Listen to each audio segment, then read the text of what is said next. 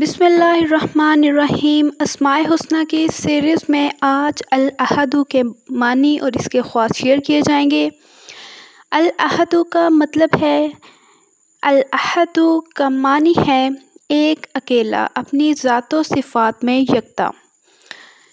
سب سے پہلا خواص الاحدو کا یہ ہے کہ جو شخص روزانہ ایک ہزار مرتبہ الواحد الاحد پڑھا کرے، اس کے دل سے انشاءاللہ مخلوق کی محبت اور خوف جاتا رہے گا۔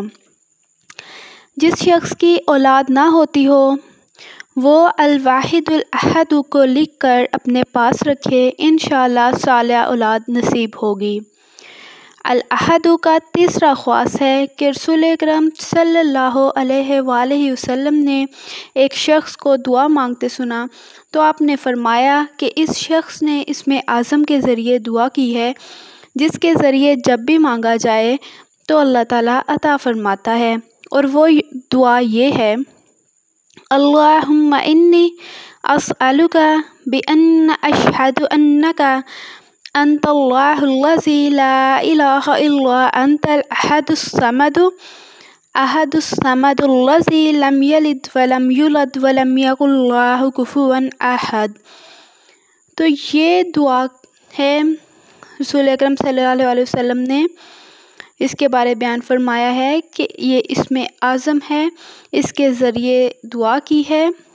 اس آدمی نے، اور جب بھی اس کے ذریعے دعا مانگی جائے، اللہ تعالیٰ عطا فرماتا ہے۔ الاحدو کا اگلا خواص ہے کہ جو شخص الاحدو کو پڑھتا رہے گا، انشاءاللہ ظالم کے ظلم سے بچا رہے گا۔ الاحدو کا اگلا خواص ہے کہ اگر کوئی شخص نو مرتبہ الاحدو کو حاکم کے آگے جانے سے پہلے پڑھ لے گا، انشاءاللہ عزت و سرفرازی پائے گا۔ الاحدو کا اگلا خواص ہے کہ اگر سانپ کاٹ لے، تو اس پر ایک سو ایک بار الواحد الاحدو پڑھ کر دم کرے، انشاءاللہ سانپ کا کاٹا ہوا مریض تندرست ہو جائے گا۔